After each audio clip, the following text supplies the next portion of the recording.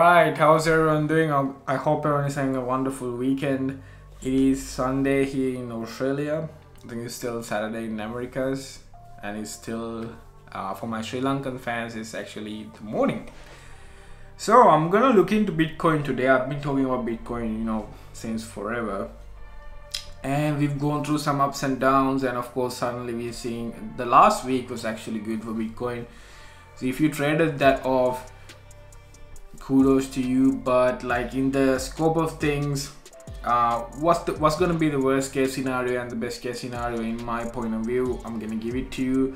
Uh, if you're new to the channel uh, welcome. My name is hima. I talk about my financial journey. Um, hit the subscribe button and the like button um, and put a comment below what you think about what i'm talking. If you're not so new to the channel welcome back. Uh, so let's begin. As you know like i told you last week was good for all the uh, technology sectors in you know tech stocks and of course um, crypto and otherwise. Um, so i'm looking at bitcoin. Let me pull up the uh, daily chart. I'm on i'm on line charts so i'll, I'll, I'll tell you why i use um, you know both line and bar charts. So so this is where we are at right now if you switch to daily task uh, charts. So with daily charts like you get a overview of like a micro uh, economics as in like how a certain asset uh, it could be anything uh, behaves from in a micro perspective as in like in the small scale of things. Of course the biggest picture is what you need to focus on. It doesn't matter whether you invest or trade this is the biggest picture so if you look at daily charts which is what most of these people do you can see that we are somehow consolidating. You know we got I draw a trend line we got lower lows. We have we don't have higher highs. We just also have this small channel of um, channel that Bitcoin is currently going through. As you can see it's going parallelly. Um, but it's going sideways. It's going like flat. It's not going up or down. It's just like flat so usually when something like this happens on a daily chart, this means is that um, the bulls and bears are kind of fighting and it's like there's this, uh, what do you call what's the word, um, equilibrium. It means that things are like kind of balancing out. So this is what we are saying right now. We're going through this channel and we've been going through uh, this channel since January. Of course, uh, we had this up and the down, up, down up down and again we've touched this uh, trend line. Um now that's on the daily charts. All right let me switch to um weekly chart. It's the same thing as you can see uh, we are in this channel.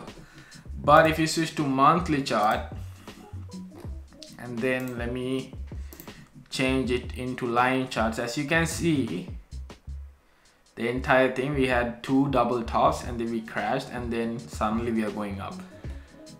Look at this picture and then look at this.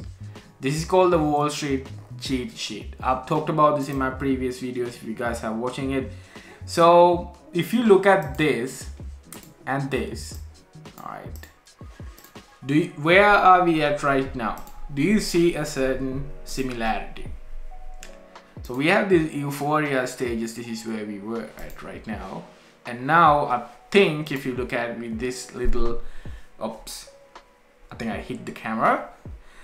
So this little leg up here is kind of like this complacency um, period. I think this is where we are right now. Like do this yourself, you can Google it, I'll put the link below. Have a look and the other thing is so this is like the worst case scenario. The reason why bitcoin has been going up and it went down in january and february is because the tech stocks as you can see uh, saw a huge sell-off uh, due to the fed news. Like fed's already increased interest rates but this was the news that was on and it, we had we saw a huge sell-off uh, from wall street and every tech stock pretty much uh, Tesla, Apple, Nvidia, Netflix they started crashing. And of course like I told you I made a video back then and I told you guys that even though Bitcoin is not technically a tech stocks it is a technology but somehow Bitcoin also followed the same trend. And now we're seeing suddenly things are going up. And to me it feels like this is my opinion of course no financial advice. Uh, uh, these hedge funds are playing a massive game so you gotta be very careful. I believe that from macro perspectives tech stocks will go down if you look at this um, QQQ is one of the things that I follow.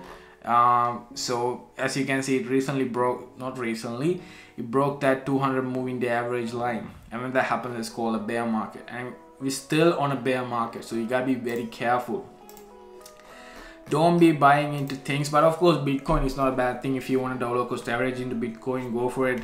Right now at $44,000 I think it's still cheap. Um, I personally haven't done dollar cost averaging and I've told you in my previous videos that that's not my strategy. I'm waiting for Bitcoin to come down a bit. The reason why I'm doing that is because I usually get into things when people don't talk about it. That's when you find the cheapest most um, you know desirable things. When everybody is talking about it of course it's gonna go in the wrong way. When people are don't when people don't stop talk when people when people don't talk about things that's when i buy that's my strategy right? So we gotta be very careful um, and this has actually been truthful for hundreds of years so many people talk about it so keep an eye on this one. And that's my worst case scenario. Of course the best case scenario is like i told you green for all day every day and twice on sunday. So green would be actually bitcoin surpassing this previous all-time high which is like $60,000 wait I think yeah about $69,000 if bitcoin goes about this then that's good. But I don't think that's gonna happen anytime soon. Of course in the long scheme of things, five to 10 years, Bitcoin will even go to a million dollars because of course the US printed so much money. The dollar is losing its value. Uh, the other thing is I want to talk to you guys about this uh, volume. This is called the volume um, average. And as you can see, if you see volume below this line,